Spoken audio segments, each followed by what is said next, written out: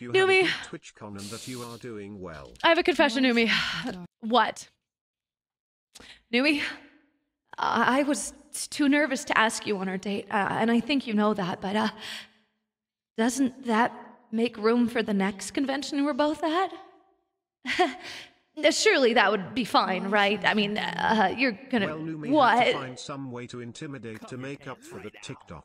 Why? There's no copium. I just said, in all honesty, I was too nervous to ask you. How is that? How is that? I tried so hard to risk me. Wait.